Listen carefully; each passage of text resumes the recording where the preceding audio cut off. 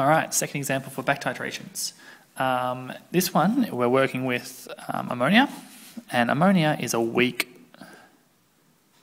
base. Now, being a weak base, it doesn't have a nice endpoint, so therefore we need to do a back titration. Lo and behold, that's all good. Now, because it's a weak base, the first thing we need to do is react it with a strong acid.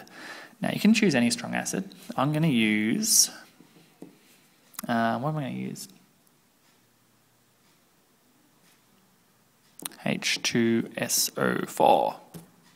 No, not too much hard work.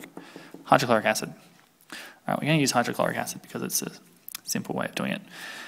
Now, um, we're, we're going to use 2 molar hydrochloric acid and we're going to put um, 50 mil in. All right, so that means afterwards we have an unknown mil of 2 molar HCl left over. All right, notice I'm writing out what's happening here. We have a weak base, we're reacting it with excess amount of this stuff, and we have some left over here. Now, we need to find out how much is left over, so therefore we need to titrate. And we titrate with a strong base, which is NaOH, and we work out 2 molar HCl. Uh, we use a certain amount of mole of this, so I'm going to say we're going to use 1 molar, and we're going to say we use about 2 Wendy mil.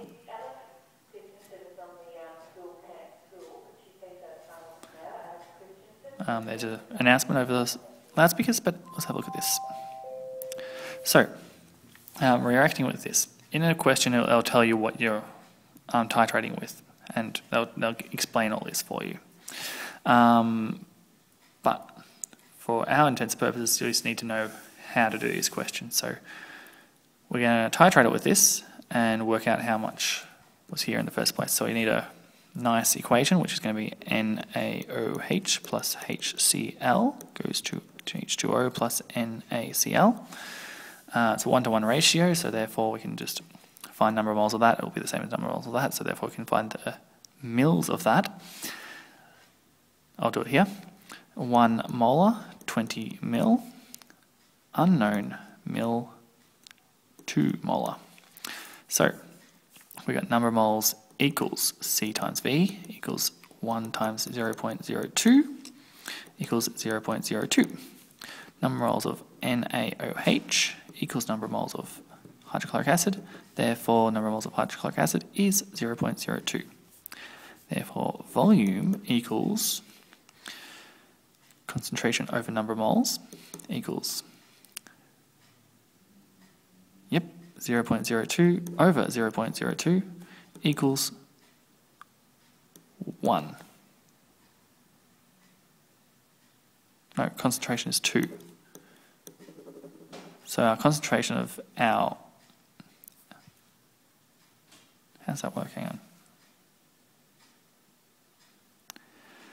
on? Uh, that's right, because this is not right. It should be number of moles over concentration. V equals number of moles over concentration. So therefore, a number of moles is 0.02 over concentration, which is 2, equals 0.01. So therefore, our mils equals 10 mil. Can't see any of that. Um, what I did, I found out the number of moles here. I did a ratio because it's one to one here. It's one to one here. I then found out the volume based on this number of moles for hydrochloric acid. And that came out to be 10 mil. So therefore, we do um, volume supplied, take away volume um, left equals volume used. And therefore, the number of volume supplied was 50. Volume left was 10 mil.